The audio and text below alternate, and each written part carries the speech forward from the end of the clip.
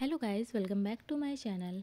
Diwali त्यौहार में हमारे घर पर जो खील और पोहे आते हैं, अक्सर बच जाते हैं तो उनका क्या करना है? तो इसलिए मैं आप सभी के लिए एक अच्छी सी रेसिपी लेके आई हूँ, जो बच्चों से लेकर बड़ों तक सबको बहुत पसंद आने वाली है। तो चलिए दोस्तों, शुरू करते हैं। क्या करना है? सबसे पहले एक बोल लेंगे, उसमें एक कटोरी पोहा ले लिया है, पतला वाला, और साथ में एक कटोरी खील की ले ली है। इनको एक से दो बार अच्छे से हम यहाँ पानी डालकर धुल लेंगे।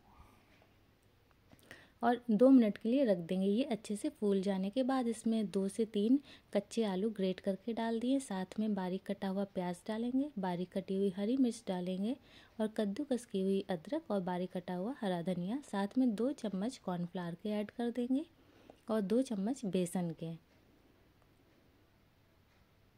और साथ में स्वाद के अनुसार नमक डाल देंगे और डाल देंगे साथ में लाल मिर्च का पाउडर फिर क्या करना है? सभी चीज़ों को अच्छे से मिक्स करके हमें एक डो तैयार करना है। बहुत ही आराम से, हल्के हाथों से सारी चीज़ों को अच्छे से मिक्स करेंगे।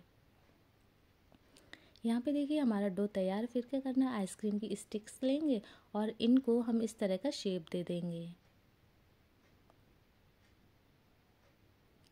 इसके, इसको थोड़ा सा फ्लैट करेंगे और अंदर स्टिक डालकर इस तरह से कर देंगे।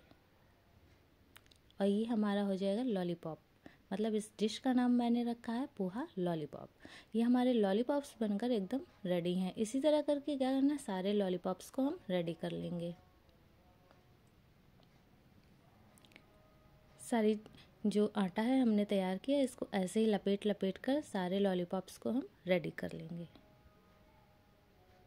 ये देखिए हमारे लॉलीपॉप्स एकदम तैयार हैं। फिर क्या करना है, गर्म तेल में इनको एक एक करके ऐसे डालते रहेंगे। और ये ध्यान रखना है, तेल हमारा मीडियम गर्म होना चाहिए हाई फ्लेम पर इनको फ्राई नहीं करना है।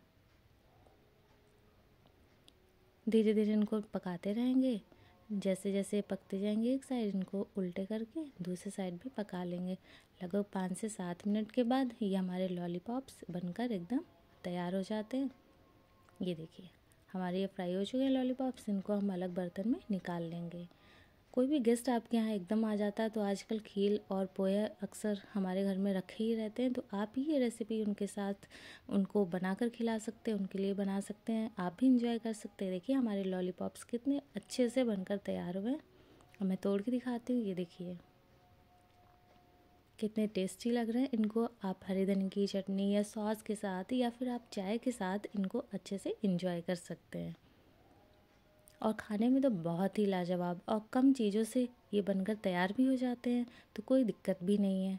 अगर ये वीडियो अच्छा लगे तो प्लीज़ लाइक, शेयर, कमेंट करना बिल्कुल भी ना भूलें।